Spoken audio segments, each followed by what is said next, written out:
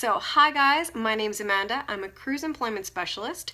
I worked on board cruise ships for 10 years and now then went into cruise ship employment and recruitment and now I operate at getalifeatsea.com where I help people get paid to travel.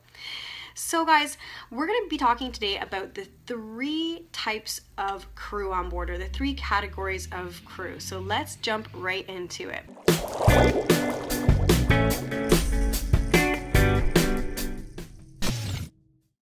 First off, we have the officer category. Now, this often includes people in managerial or supervisory positions on board. Basically, there's sort of three areas of a ship. There's the bridge, which we call we refer to as deck positions. There's the engine room, which we refer to as engine positions, and then we also have hotel positions, which is pretty much everyone else. Now, when we talk about officer level positions, automatically anyone who works in the deck or tech or engine room um, is automatically ranked in sort of an officer level hierarchy. But then we have also the hotel side of things. So anyone in a managerial or supervisory role will have officer level status, differing levels of officer level status. So for example, we may have the hotel director, which is sort of the very, very top um, person within the hotel management system.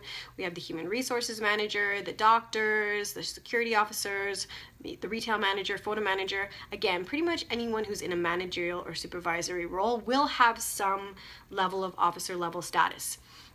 And usually that means um, anywhere from a half stripe to all the way up to three stripes plus. Okay, so that's how that officer category sort of works.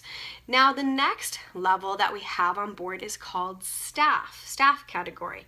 So this includes um, crew members that are usually in front of house positions, uh, retail and gift shop, photo video, um, spa and salon, the casino, sometimes cruise activity staff.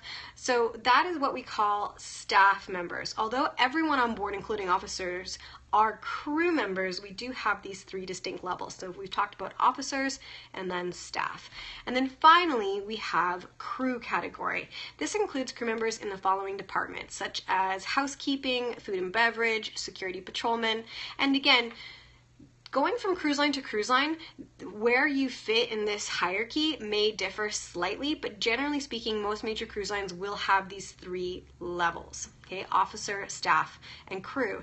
And the reason that it's important to know what um, category you fit into when you're on board is it will directly affect sometimes what benefits and privileges you will be afforded when you're on board.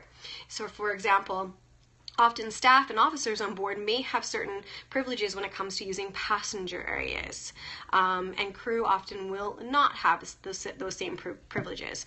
Um, often it will also affect what mess or eating area that you eat in. So for example, there's usually always an officer's mess, and a staff mess, and a crew mess.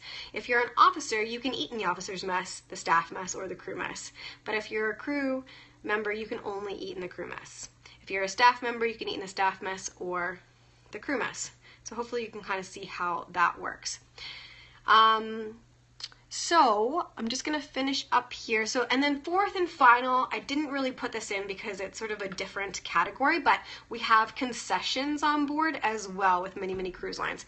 Concessions are hired and managed from outside the actual cruise line, and they often include departments such as art auctioneers, casino, um, entertainment sometimes, photo and video, uh, port and shopping lectures, retail, spa. Um, and again, this isn't on every cruise line, but sometimes they some cruise lines do choose to have um, to use a concession to staff that department on board. So usually concessions um, will abide, will have to abide by all of the ship's policies and procedures, but they will be paid and dealt with outside of the realm of the ship. If you haven't already taken the quiz, please do at lifeatsea.com because it'll tell you really quick and efficiently if considering a life at sea working on cruise ships is right for you. So yeah, check it out. So much for watching and we will see you next time.